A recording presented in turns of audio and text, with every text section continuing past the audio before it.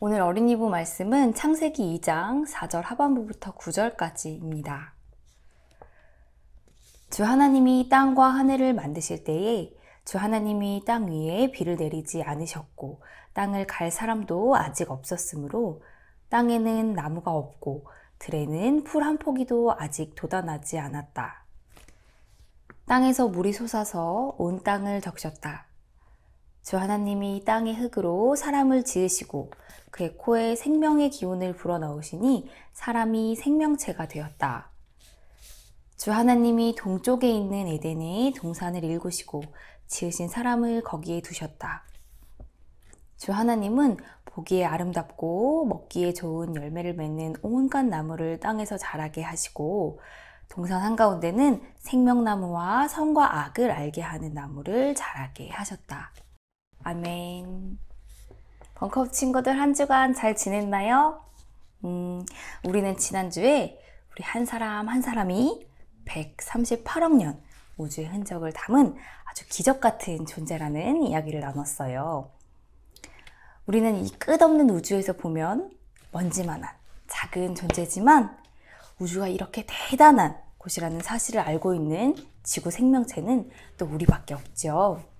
이렇게 우리는 먼지만큼 작은 존재이면서도 우주를 담은 아주 기적 같은 놀라운 존재이기도 해요. 성경은 하나님이 우리를 흙먼지로 지으시고 우리의 코에 하나님의 숨을 후 하고 불어 넣어 주셨다는 이야기를 들려줘요. 이 이야기는 어, 우리가 먼지만큼 작은 존재이면서도 하나님을 닮은 대단한 존재이기도 하다는 사실을 동시에 알려주는 이야기지요. 하나님은 우리에게 생각하고 고민하고 선택할 수 있는 능력을 주셨고 또 상상하고 꿈꿀 수 있는 능력도 그리고 무한한 가능성도 주셨어요. 하나님은 이런 우리와 함께 이 세상을 아름다운 곳으로 만들고 싶으셨죠. 하나님은 하나님을 닮은 우리에게 동산을 함께 돌보자고 하셨어요. 하지만 인간들은 하나님이 주신 능력들을 잘못 사용했어요. 어느 때부터인지 사람들은 세상에 있는 것들을 하나님이 지으신 창조물로 생각하는 것이 아니라 인간들만을 위해서 있는 것이라고 착각하기 시작했어요. 인간들은 자기들이 필요한 대로, 자기의 욕심대로 자연을 훼손하고 다른 동물들의 생명을 함부로 대하기 시작했어요. 이렇게 자기 마음대로 하면서 인간들은 자연을 망쳤고, 그래서 인간들은 편리해지고 부자가 되긴 했지만, 코로나19 같은 알 수 없는 질병에 시달리게 되었고, 또 마음은 점점 더 가난해지게 되었어요. 자연이 주는 아름다움을 잊어버리고, 자연이 주는 생명의 기운을 받지 못해서 사람들의 마음은 텅텅 비어가고, 또 우리와 자연이 연결되어 있다는 걸 알지 못했기 때문에, 잊어버렸기 때문에, 우리는 자연을 아프게 하면서 우리를 병들게 했지요. 성경은 하나님이 말씀으로 이 세상을 지으셨다고 알려줘요. 이 말은 가만히 모든 생명을 들여다보면 거기서 하나님의 음성을 들을 수 있다. 하나님의 말씀을 들을 수 있다 는 말이고 하나님의 마음을 알 수 있다는 뜻이지요. 그런데 우리는 여러 생명들이 속삭이는 하나님의 음성에 귀 기울이지 않았어요. 그 모든 생명들을 소중하게 대하지 않았지요. 그리고 창세기에는 하나님이 첫 번째 사람을 잠들게 하셔서 갈빗대를 꺼내시고 그 갈빗대로 두 번째 사람을 만드셨다고 창세기는 알려주고 있어요. 이 이야기를 가만히 들여다보면 아, 사람은 모두 한 몸처럼 서로 연결되어 있구나 라는 걸 깨달을 수 있어요. 하지만 우리는 서로 상관없는 사람처럼 서로의 아픔과 슬픔에 별로 관심 없이 살고 있지요. 그러면 하나님은 왜 우리를 생각하고 고민하고 스스로 선택할 수 있는 존재로 지으셨을까요? 그건 하나님이 하나님 혼자서만이 아니라 우리와 함께 이 아름다운 세계를 가꾸고 싶으셨기 때문일 것 같아요.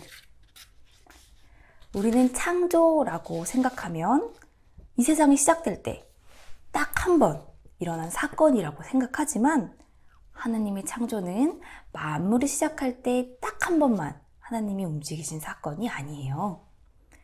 하나님은 스스로 선택할 수 있는 우리들과 함께 지금도 계속해서 이 세상을 지으시고 가꾸시고 새롭게 창조하고 계시지요. 물론 우리는 항상 좋은 선택만 하지는 않아요. 때로 우리는 어리석은 선택을 하고 해서는 안 되는 선택을 하기도 하지요. 그리고 그렇게 잘못된 선택을 한 결과로 우리 모두가 슬픔을 겪고 고통을 겪기도 해요. 그리고 이 세상에서 일어나는 슬픈 일들, 아픈 일들을 가만히 들여다보면 어쩌면 오래전부터 인간들이 잘못 선택해온 것들이 쌓여서 터진 것이 아닌가 생각이 들기도 해요. 하지만 우리가 이렇게 잘못하고 실수하더라도 하나님은 우리를 여전히 믿어주시고 끝까지 믿어주시고 계세요. 우리가 좋은 선택을 할 수 있도록 기다려주시고 설득하시고 용기를 주고 계시지요. 우리에겐 되돌리고 싶은 순간들이 있고 없애버리고 싶은 그런 잘못된 선택의 순간들이 있지만 하나님은 그런 순간들까지도 모두 다 엮으셔서 우리 삶을 아름답게 만들어 가고 계세요. 마음에 드는 순간, 멋진 순간만이 아니라 슬프고 아픈 기억들까지도 모두 우리의 선택과 경험을 모두 잘 엮으셔서 아름다운 작품으로 만드시고 이 세상을 아름다운 쪽으로 계속 움직이고 계시지요. 이 과정에서 하나님은 뒷짐지고 명령하시는 것이 아니라 그냥 멀리서 우리를 쳐다보시기만 하시는 것이 아니라 우리를 돌보시고 때로 함께 슬퍼하고 함께 기뻐하시면서 우리가 더 좋은 선택을 할 수 있도록 지혜도 주시고 힘도 주시고 그렇게 우리와 함께 하고 계시지요. 우리는 우리를 돌보시고 힘주시는 하나님과 함께 이 세상을 아름다운 세상으로 만들어 갈 수 있어요. 하나님이 시작하셨고 아직 끝나지 않은 이 창조의 이야기를 우리가 하나님과 함께 이어나갈 수 있는 거예요. 물론 이 세상은 우리 뜻대로만 되지는 않아요. 이 세상에는 행복한 경우만 있는 것도 아니지요. 때로 좋은 의도로 시작한 일도 괴로운 결과를 가져올 때도 있고, 우리가 감당할 수 없는 고통이나 이해할 수 없는 재앙도 이 세상에 있어요. 이렇게 우리는 행복과 슬픔이 함께 있는 세계에서 살고 있어요. 하지만 아까 말한 것처럼 하나님은 멀리서 지켜만 보고 계시거나 구경만 하지 않으세요. 하나님은 우리에게 선택할 수 있는 자유를 주셨으면서도 우리가 결정하는 대로 혼자 다 감당하도록 홀로 버려두지 않으세요. 하나님은 우리가 슬픔을 겪을 때마다 우리와 함께 하시고 고통을 겪을 때 우리를 위로해 주세요. 때로 슬픈 일이 닥치고 갈수록 어려운 일만 일어나는 것 같을 때도 있지만 언제나 하나님은 더 좋아지는 쪽으로 우리를 인도하시고 이 세계를 움직이고 계시다는 걸 잊지 마세요. 당장은 알 수 없더라도 오랜 시간이 지난 뒤에 보면 우리는 그걸 알 수 있게 될 거예요. 결국 언제나 행복이 슬, 슬픔을 이기고 희망이 절망을 이기고 생명이 죽음을 이기게 될 거예요. 여태까지 그래온 것처럼요. 사랑하는 벙커업 친구들, 우리 친구들이 살아가는 동안 때로 이해할 수 없는 일들이 일어나겠지만 이 이해할 수 없고 문제 많은 세상을 살아가면서도 언제나 행복이 슬픔을 이긴다는 사실, 희망이 절망을 이긴다는 사실, 생명이 죽음을 이긴다는 그 사실, 그 믿음을 간직하세요. 하나님은 그 모든 일들을 결국엔 다 엮으셔서 이 세상을 아름답고 행복한 곳으로 이끌어 주실 거예요. 우리 친구들이 이 믿음을 가지고 매일매일 기쁜 순간도 슬픈 순간도 하나님과 함께 살아갈 수 있게 되기를 바랍니다. 그리고 우리 친구들의 생과 말, 행동을 통해서 끝나지 않은 창조의 이야기가 아름답게 계속 이어져 갈 수 있기를 벙커업 선생님들이 응원하고 기도할게요. 기도하겠습니다. 이 세상을 시작하시고 계속 이 세상을 새롭게 하시는 하나님, 우리에게 놀라운 능력을 주셔서 우리가 이 아름다운 세상을 함께 가꿀 수 있게 해주셔서 감사해요. 그런데 하나님, 우리는 이기적인 선택과 행동으로 이 아름다운 세계를 아프게 할 때가 많았어요. 용서해 주세요.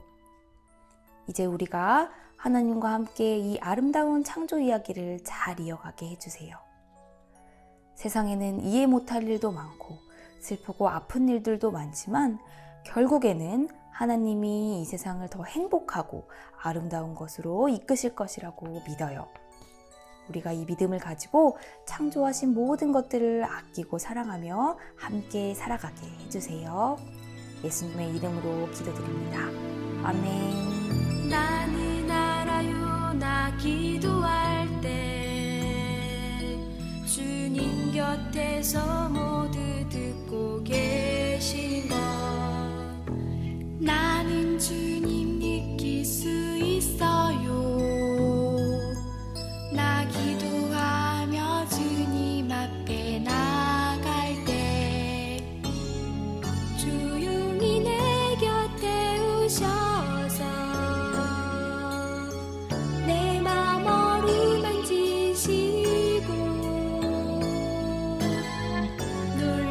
놀